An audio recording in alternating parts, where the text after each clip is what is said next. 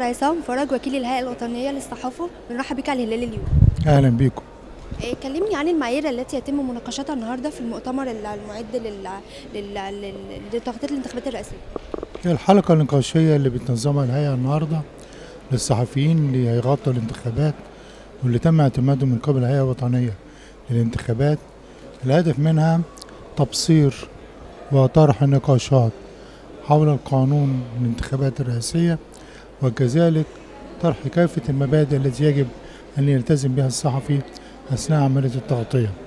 لا شك أن من أبرزها هي مسألة الحيادية في الطرح وأيضا المسؤولية الكبيرة الملقاة على الإعلام لكي يطرح على الجمهور آليات الانتخابات وكيفية الانتخابات وأهمية الانتخابات. ذلك أن الحديث إلى الجمهور هو مسؤولية الإعلام. من المهم جدا إذا حدثنا عن ضرورة نزول الناس للانتخابات الذي يلعب الدور الرئيسي ولا شك هو الإعلام.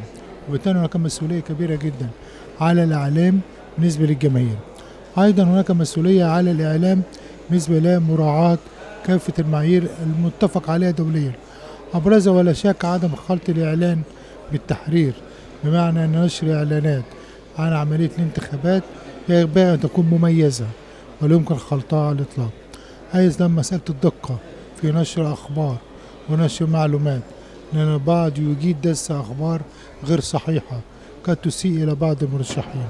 ومن هنا تأتي أهمية تبصير الصحفيين وتذكيرهم بالمعايير الدولية وهي لا تخرج أكثر من أنها معايير خاصة بأخلاقيات المهنة التي ينبغي نمارسها في كل وقت.